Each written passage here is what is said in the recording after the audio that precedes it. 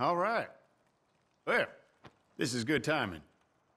Seems to be going from, uh, well, bad to worse lately. But I said I wouldn't gripe no more. It's becoming a, an unfortunate habit of mine of late.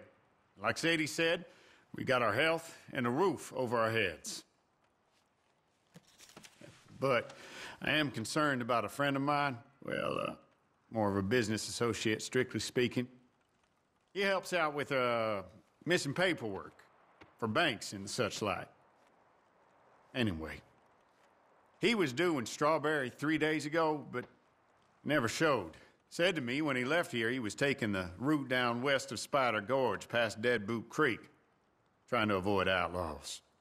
It's probably nothing, like I say, but he should have been there by now. Could you see if you can track him down?